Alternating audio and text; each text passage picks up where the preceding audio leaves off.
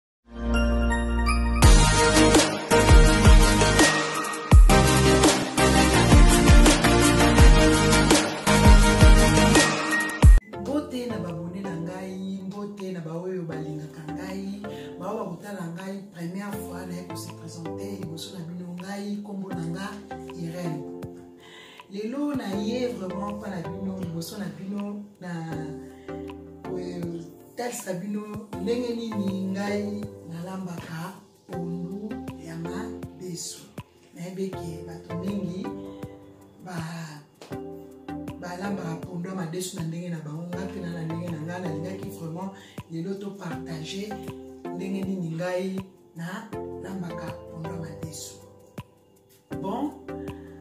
euh, pondu na ngai lelo ya madesu nakolakisa bino pondu na madesu na ngai nazali na posa ya madesu ngai nasalaka madesu pondu ya madesu na nga na madesu ya pembe bamisusu basalaka na madesu ya kaki oyo tobengaka tobenga na kinshasa madesu ya basoda ngai madesu na ngai ya pembe madesu na ngai yango oyo naza na pondu na ngai pondu na ngai yango oyo natiaki yango na mai elemba mpo ntango na mosatu lokola yango ezala mwa sava naza na mposa ya thomson thomson eza te nakende na lidel nasombi oyo mpo na remplace yango na place ya thomson mpo nga natiaka thomson nakotya eh, oyo bakomi yango gemis oyo bakomi eza na dotch en tout cas bocomprendre nga mpo eza dotch gemis donc totyaka yango na biloko nyonso ezali gemis eh, donc biblioko eza gemise elingi koloba balegume tout ce qui est legume sauce soupe ya legume donc okotia eloko na kotia na pondu na nga naa na mposa feuille naa na mposa ya mungwa naa na mposa ya ai donc matungulu bokomona ndenge na kosala Pona madesu na ngai. Donc biloko na ngai nalakisi bino yango wana nakosokola madesu na ngai nakosokola madesu na ngai yama ya tuka mama kosokola madesu eyebi esika madesu yango euti eutaka na bamoko eza na kati ya chasse otiaka mbala moko te otie madesu na yo na kosokola madesu na yo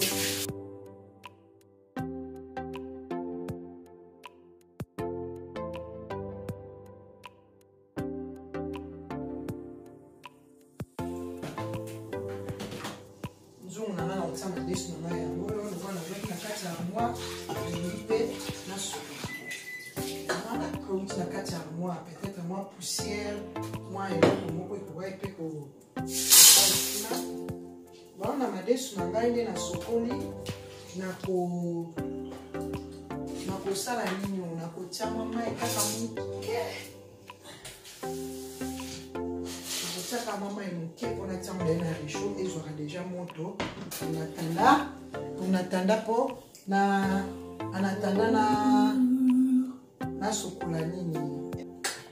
Hmm, natie sikoyo mwa mai natiaki madesu na ngai natiango na moto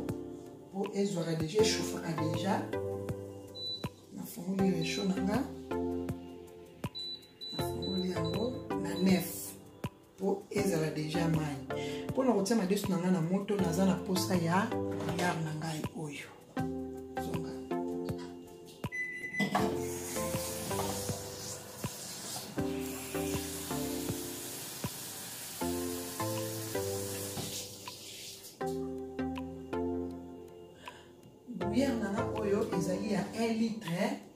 70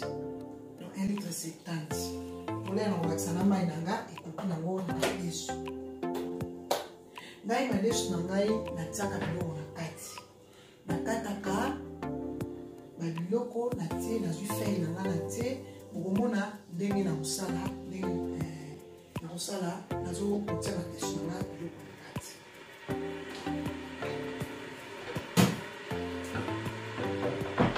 naza na posa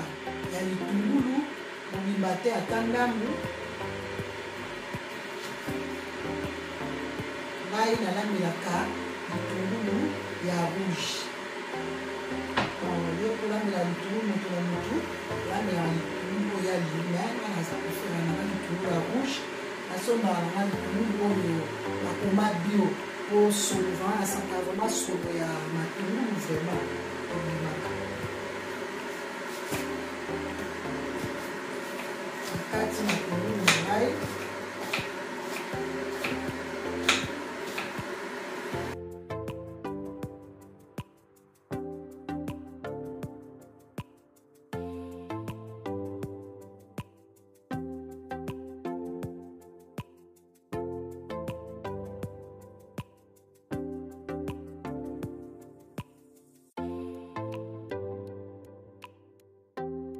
biso wana dot tobenga yango paprika na français poivron bon nakati poivron na ngai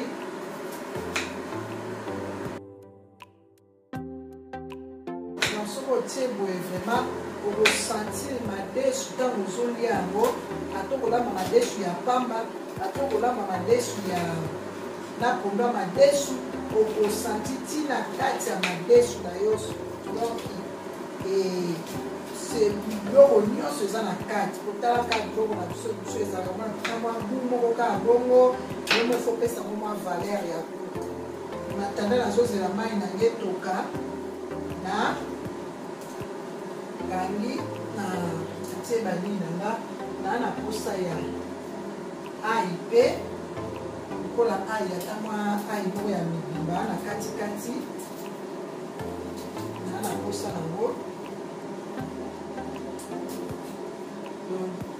mpona madesu na nga ekoumela nango te po systeme nazolambela oyo okomona mpenaka epondu madesu na nga ekoumela te minute madesu na nga ekobela ale ah, madesu na nga ekomi kokuba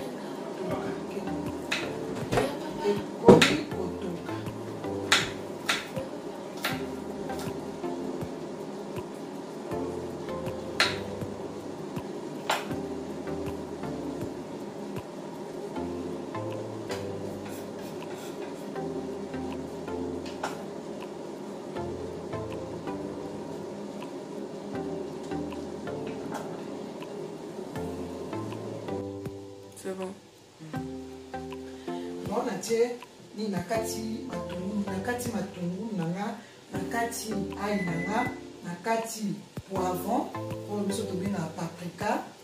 na kati poivron. Donc na tie siko oyo eza ndembi na nga na kati. Ndembi yango deja na tiaki na congélateur, na kataki kataki na congélateur mpo na temps ezwanga vraiment temps te.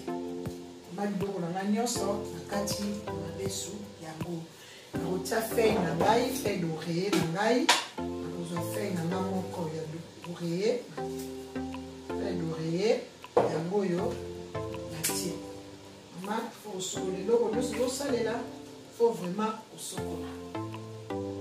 loreiller na tie moko polaire na kotia su pondu na kotia feuille loreiller lisusu pondu soki olambi yango yango moko otie feuille loreiller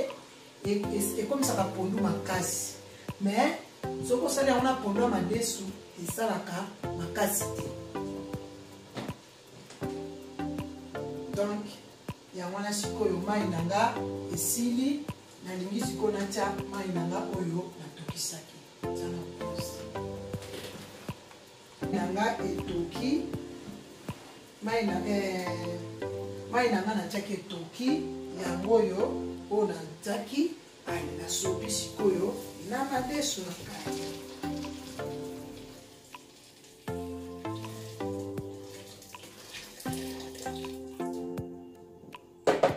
yesu na ngai apres nakotya mungwa na ngai yango oyo mama biloko kokanisaka te biloko nyonso kaka ifo kosala yango otia kaka basezuma bakibe banini wi eza nango mabe te mai fo tiaka opesaka place mpe ya mungwa mpo mungwa eza na mpe kitoko makasi soki olambi biloko mingi eza basezuma okomona ke sezuma na biloko ekozala ka gu ya sezuma papa omesana toujours kolia biloko eza ya basezuma gu ya mungwa ekobunga ye na mungu yango natie mungo na nga natia nasalela mungo ya minene mpoka soki nazolamba yeka tonaosalela na ki tima mungo na nga oke yango wana bon lokola madesu na ngai na tema ya moto ezotoka ekotoka kaka moke apres nakangi pesho na ngai bon tona pema eza te hmm. bon bomoni madesu ndenge etoki madesu vraimen etoki makasi apres madesu tokula etoki boye nazwi moto na nga nakangi nakangi moto na ngai soki otiaki madesu par exemple na 15 heures juste otika yango 30 minutes na 30 minutes ale odemare rechaud na yo madesu ebele soki otiaki donc calcule donc oza kaka na 30 minutes ya kosa madesu na moto etoka lokwa totie madesu na biso etoka esili kotoka eh, madesu na biso ezozela 30 minutes nango tokovanda bongo te ale soki olingi na prépare pondu na nga natia mpe na moto bon Let's go.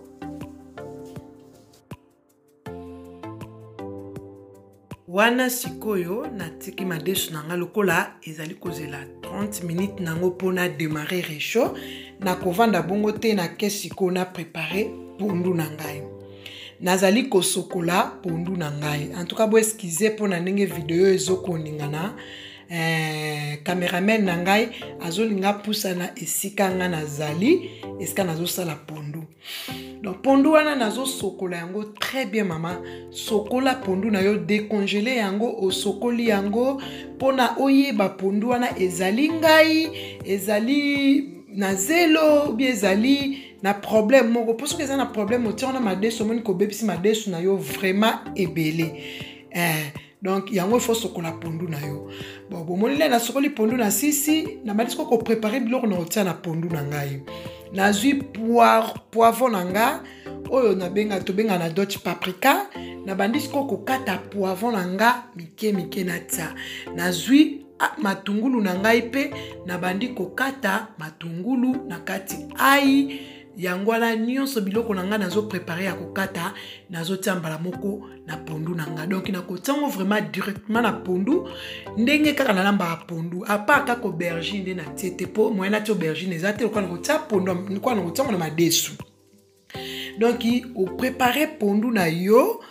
na biloko no ndenge olambelaka pondu nazwi poiron oyo ezalaka mwa mabasa ya minene lokola ndembe minene wana nazwi poiron na nga na ye nazotia mpe poiron donc ngai pondu na ngai vraimen nalamba yango na biloko nyonso nalamba na poiron parceke nalingaka pondu namona yango na babiloko e eh? donk mwa lokola nde tolandi bapondu na kini ya makasa soki pondu ya pambo ozosanti mpe na makasa nalambaka vraimen pondu bongo mpo nasanti ke pondu nazolia eza lokola ya koteba te soki botuni ya marena mama lorette na luxembourg akoyebisa bino vraiment ke ngai pondu nalingaka ezala boye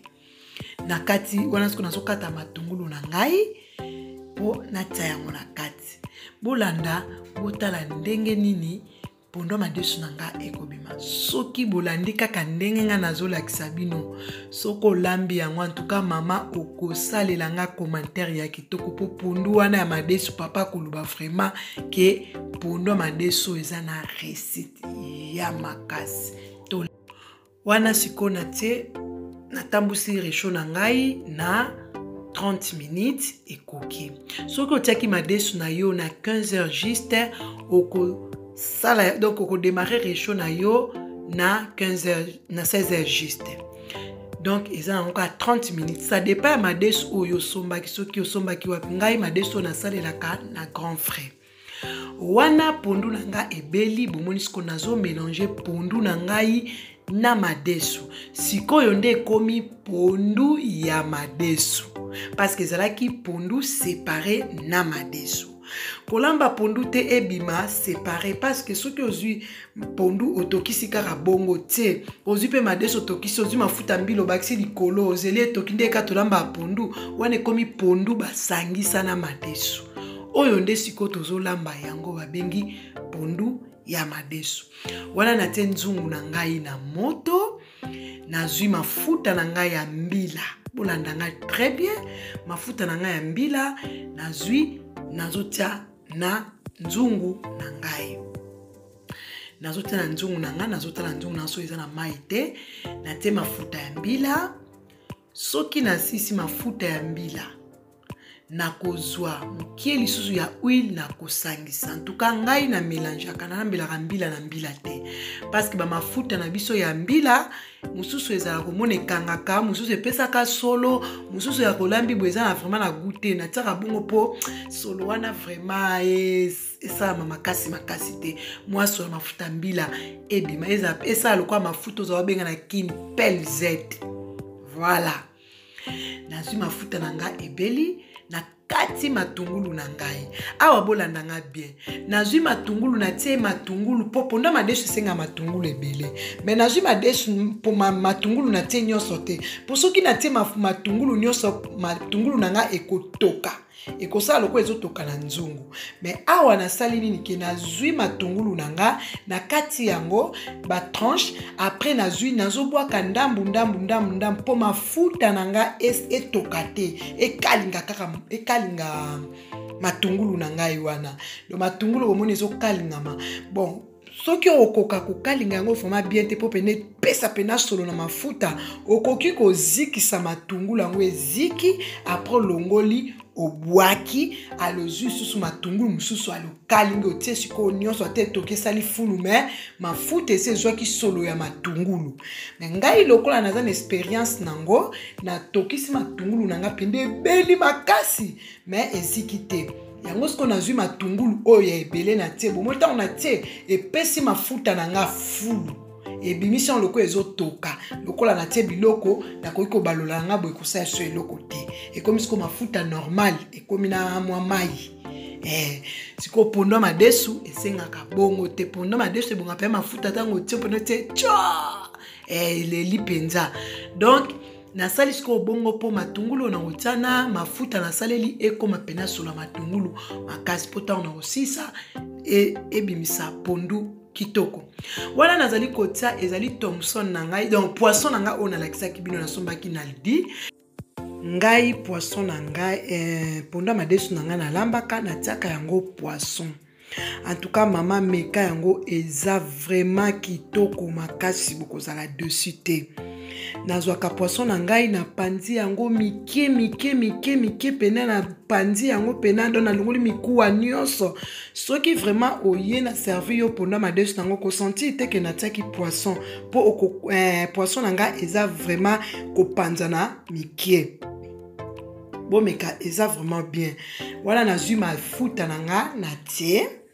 nasangisi siko mafuta na nga ndenge ebeli bino momome mafuta na ndenge ebela me na, na nzungu na nga bozo remarke ke natiki mafuta moko ya mokie wana mafuta wana natiki nakozwa lisusu matungulu na tie na nakotisi su na mafuta apres nakozwa lisusu fei na ngai oyo na ngai natia na pona madesu na tie fei na ngai na mama ozwi mwa fei na yo otie mafuta wana ekomi na solo ya matungulu oyo ya liboso ezwi deuxième matungulu ezwi troisième matungulu donc eye kozwa su fei bongo ntango komelange na suka obaloli obaloli mpe mafuta ekomi solo vraiment ya kitoko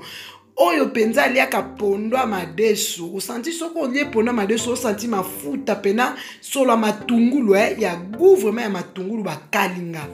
yango wana vraimen ndenge ekobima nasisi nakalingi matungulu na nga nakozwa yango sikoyo nasangisi yango na pondu na ngai o oh, mama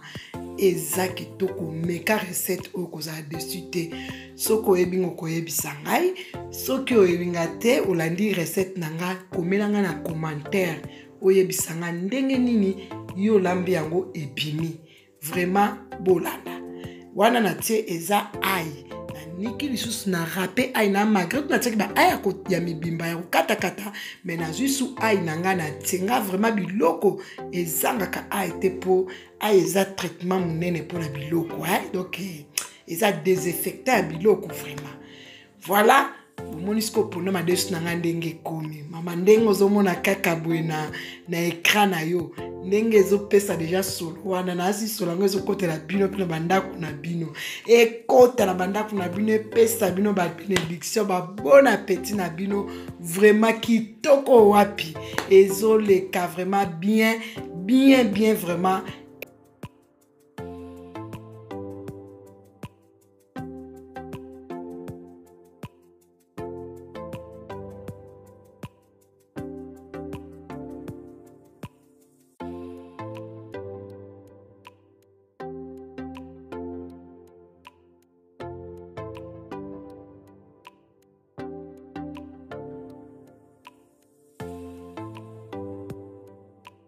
wana pondu na biso ezali kotoka pondu na biso ebeli parceke soki omelange yango na mafuta na pondu nyonso otie biloko nyonso komona mpena pondu na yo ebeli otikeli yango temps mafuta oyo emati soki ozolamba biloko fumbwa made pondwa madesu madesu omoni ke mafuta mpenza oyo wana ya nzungu emati likolo seke vraiment ebeli pondwa madesu na biso tokolia yango na loso tokolia yango na kwanga tokolia yango na mbala donki eliamaka vraiment na biloko ebele